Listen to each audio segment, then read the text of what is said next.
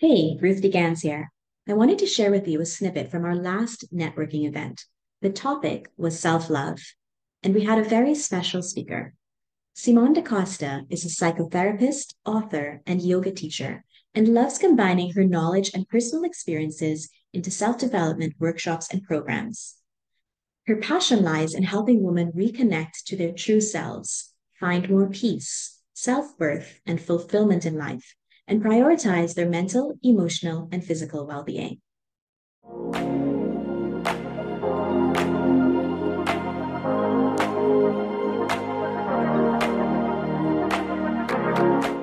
Okay, we have today Simone Da Costa here with us. Simone is a psychotherapist, author, and yoga teacher, and she loves combining her knowledge and personal experiences into self development workshops and programs. So her passion lies in helping women reconnect to their true selves, find more peace, self worth, and fulfillment in life, and prioritize their mental, emotional, and physical well being. So today on Valentine's Day, happy Valentine's Day, everybody. We are just so happy to just have her giving a talk on the ever important topic of self-love. And we recognize the importance of this topic topic because it affects so many different areas of our lives. So Simon, thank you so much for joining us. And I'm going to hand it over to you. Okay, thank you. And hi again, everybody, and happy Valentine's Day. I'm just going to go ahead and share my screen. I made a few slides for us so we can stay on time. We want to be brief and concise, but I want to give you a lot of information about this juicy topic of self-love, which is my favorite. Okay, so you guys can see my screen, right? Great, and I can see you. Okay, so as I said, one of my favorite topics, and I'll tell you why in a bit. But first of all, Ruth kind of introduced me, well, she did introduce me, but who am I and what qualifies me to speak on this topic, right? So, okay, there's all the titles in terms of career and development. So, yes, I'm a psychotherapist and a yoga and mindfulness teacher, and I blend a lot of that work into workshops, which I just love being able to create unique workshops with this integration of yoga and psychology. And through that work, I actually created a book of journal prompts that really helps people to navigate their self love and self discovery as well. And that book is called Unfolding. But beyond that, beyond the titles and the studies, I too am a sufferer of low self worth. And honestly, I've seen, I think, over 200 clients in the last four years of my private practice.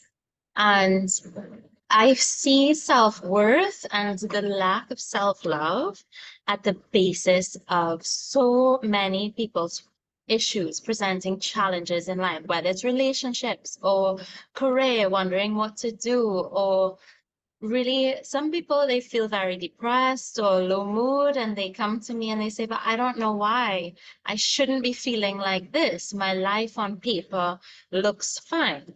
And and self-worth and self-love is at the root of that too. So that's why it's my favorite topic because as much as self-love might have become a bit more of a cliche or a fad lately which i it, it's a pity when that happens because it turns some people off. Um, but it's become more prevalent because it is this important. So I'm hoping if you have any pre pre-conditioned biases around this topic that you just open it out and see what I have to present and then see what you think when we finish.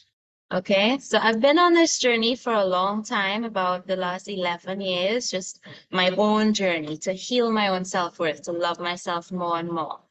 And so I hope that I have some stuff to share with you guys, right, on this topic.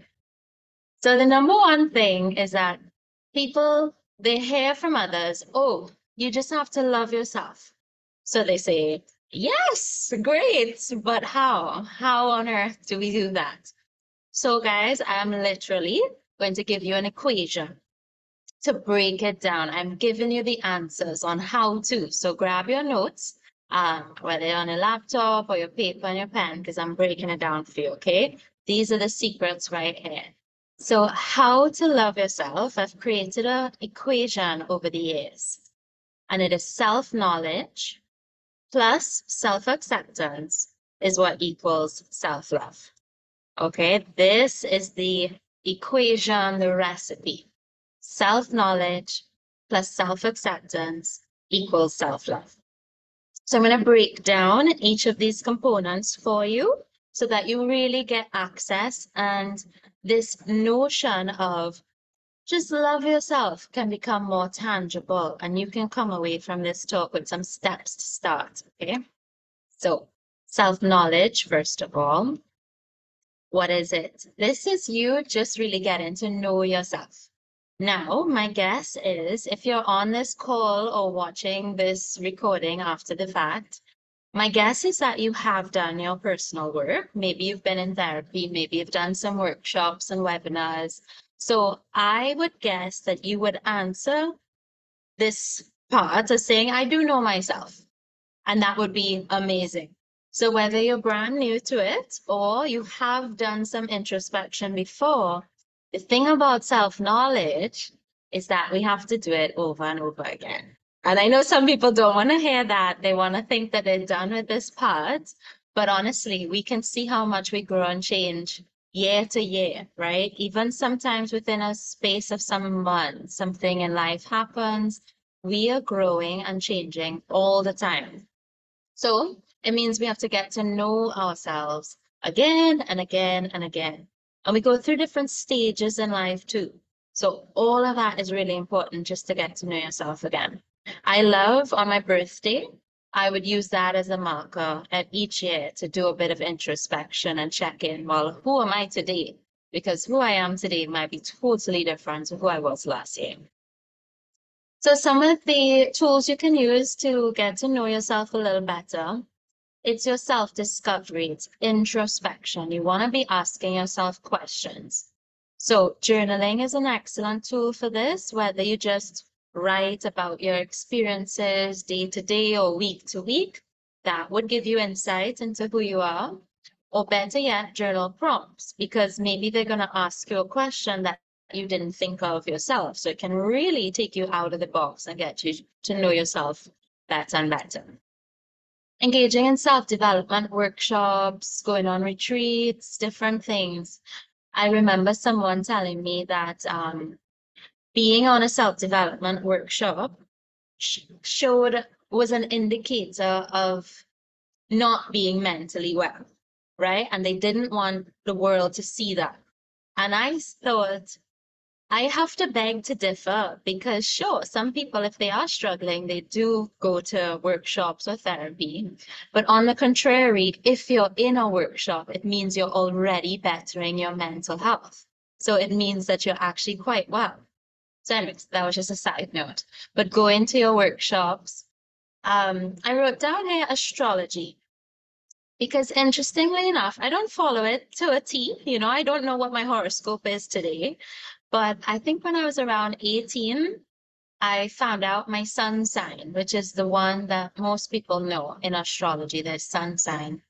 And on the most basic level, reading this as maybe elements about myself, it helped me put words to aspects about myself that I sensed, but I didn't have the language for. So for me, it did resonate. Some people might read their astrology signs and not resonate with it at all. That's okay. For me, it did resonate. So actually, what it helped me with was a little bit more self acceptance as well. Just to be so young and feel different aspects about myself, not only the good, right? The shadow side of your astrology sign as well.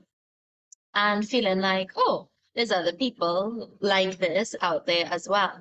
So it helped me grow in self acceptance as well. And then I've put two more kind of personality type um, modalities here. They are two huge modalities. So if you're going to dabble in either one of these, the human design and the Enneagram, I would advise that you pick one because they're they're really big. I've only dipped my toes in each. I don't I'm not an expert, but it gave me insight into who I am, how I work, how I relate to others, how I function in my career, things like that. So if you feel to dabble and get to know yourself, I find a lot of these tools quite helpful. The other aspect of getting to know yourself is self-awareness. And self-awareness comes easier than you think, and it is half the work done. So I know I'm here, we have this whole equation, and we're dissecting it. It might start to feel like a lot, but really, when you start, you realize, okay, it's actually not that much, and it's simpler than I thought theoretically. But that's why we have to start the process. So two ways to build more self-awareness can be through meditation, mindfulness, therapy, of course, because you're kind of talking about things in real time and getting that mirror of a person to offer things back to you. But self-awareness is just day-to-day tuning in. You might be heading to work in the car in public transport, and you just take a pause and you start to notice what am I thinking about? What am I feeling in this moment? That's mindfulness and that's self awareness. Right there, you're done. Okay, so we can all start that from now. I am going to put in the chat for you a free introspection guide so you can get started right away. It's a nice long PDF, so I would suggest maybe not going all at it in one go. Do a little bit, step away, come back, make it a little project for maybe a week. So I'm going to give that to you at the end. I'll pop it in the chat. All right, so then we move on to self-acceptance. And of course, all of this is just in brief, right? I could do a three hour workshop on self acceptance, and I probably will in upcoming weeks. So you can stay tuned. I'll put all of that in the chat so that you can sign up and stay tuned for when that comes. But self acceptance now is it's going to start to happen organically as you do your introspection and your self knowledge. You will start to accept some parts. Then, what we do in integrative psychotherapy, this model that brings in Carl Jung's work and the yogic side, the, the Buddhist philosophy, that type of psychotherapy, we do what's called shadow work. So it might be within therapy or in a workshop. But in shadow work, what we want to do is go more into the unconscious psyche and find, yes, strengths, but also perceived flaws or characteristics that we accidentally labeled as unacceptable. This happens for every single human unconsciously when we're growing up whether it's childhood or adolescence, even sometimes in adulthood, we're going through life and experiencing things. Either people tell us and then we learn it verbally, or just through experiences, we accidentally pick up notions of feeling like, oh, this part of me, this person doesn't like. So I should hide it away and never show it again to the world. So that's what is called our shadow, the stuff that gets hidden and repressed. The issue with that is that when it's repressed, we're not looking at it, so it's festering over here in the dark. And then when we least expect it, it pops up out of our control because we couldn't see it. So that's why, one, it's unconscious, we don't know about it, so we have to do some digging. But then when we bring this kind of stuff to the light, now we have more control over it and it helps us become whole again as well. Because when we're casting off parts of ourselves and saying, you're not allowed here, you can't sit with us, we become fragmented. Okay, so the shadow work helps us to become whole, and that really helps us feel more fulfilled, happier. When we when we're sad and we don't know why, this can be a lot of the aspects at play. So that's shadow work. Again, a whole two workshops in itself. And then the second part of self acceptance will be to bring in elements of mindfulness. So, mindfulness isn't just the practice, like yoga isn't just the postures we do on the mat, it has a whole philosophy, same as mindfulness. So, mindfulness is essentially Buddhism. So, we have nice qualities of acceptance, non judgment, compassion that aid in our journey towards self acceptance. So whatever you find out about yourself, when you start your self-inquiry, you want to recognize it, accept it, try your hardest not to judge it. Because so many of us have this rampant inner critic that just decides that everything is shit. So we need to put that inner critic in check and really try so hard not to judge ourselves and what we find out about ourselves. The antidote to that is compassion. All right, so self compassion, again, a whole component by itself, but there's so much resources online that you can find and that I can share with you as well. All right, so these are your outlines, right? We did self knowledge, the two parts that you can help to go deeper. And this is a brief outline of self-acceptance. Two things that you can start to do on your own to start to accept yourself. Shadow work, mindfulness. Okay, and again, there will be workshops on this coming up. If you would like a guide to do it along with, I will help you. All right, so when you've grown to know yourself better and accept yourself for who you are, all of you, then you will automatically begin to love yourself more and more. And again, this is why it's easier than it seems right now, maybe with all this theory. Once you start, honestly, that work is is half the work and it begins to happen organically. So this is the foundation of self-love, but it then needs to come through your actions. How do you show yourself that you love and care for yourself? So it could be, these are just a couple examples, what you put into your body, the boundaries you set. What do you do for relaxation and fun? Some people, I ask this to them and they say, what is relaxation? What is fun? Right? So this is an act of showing yourself you care because you know that you need this for balance and for happiness. So, in order to really implement both introspection and the integration of that, your self love in action, I finally have my second book of journal prompts coming out. And it's part introspection, part intention, you setting your intentions for your self love and care, and then the third part is integration. So it becomes a 90 day planner where you can plug your goals and habits into it so you can get very strategic and tangible with your goals and your self care. So this is coming out very soon.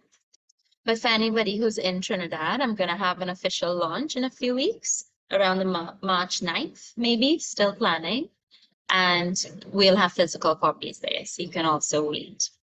All right, so that's just a little exciting thing to look forward to. So I'll leave you with just a little message here.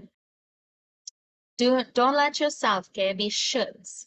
That's what happens, right? We go on self-help sites and Instagram pages and books, and then our self-care becomes a should. Oh, I should exercise. I should um, meditate. But then it's just another thing on your to-do list. So try to get your self-care actions to feel like an authentic act of self-love and devotion to you because you matter too, right? A lot of us are catering towards other people or our careers, and we forget that we are the common denominator in those relationships, in the job. Without you, they wouldn't exist. So just remembering to pour a little bit of self-love and or a lot of self-love and self-care back into you as well. Okay. So that's it in brief. So we can open up the floor if you all have any specific questions for me, or if you just want to say that if there was an insight that you got from the session. Thanks for tuning into our talk. I hope you got some great takeaways from this session, and I look forward to seeing you next time.